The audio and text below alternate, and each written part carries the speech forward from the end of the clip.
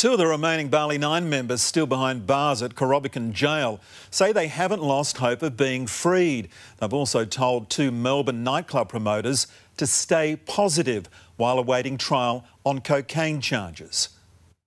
David Van Iersel manages a smile on Indonesia's Independence Day when even prisoners and detainees take part in celebrations. He and Will Cabantog, former Melbourne nightclub promoters, hoping to soon convince a judge to send them to rehab instead of up to 12 years in jail on cocaine possession charges. Just keeping positive. Advice from Matthew Norman, just 18 when he was locked up for his role in the Bali Nine, now 33 and still hoping for freedom freedom, continuing the t shirt screen printing venture of executed friend Myuran Sukumaran. Complaining or being upset is going to do nothing.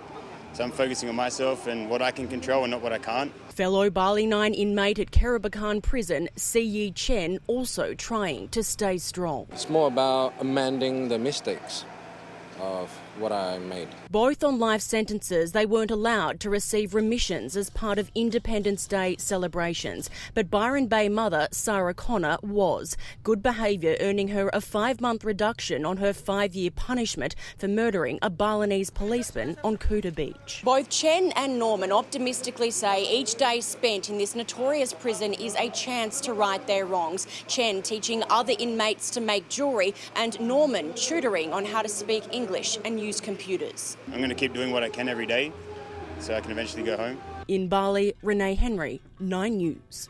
Hi YouTubers, I'm Davina Smith. Well, click here to keep watching Great 9 videos and subscribe to our channel here for lots more news, analysis and exclusive content. For breaking news, see you at 9news.com.au.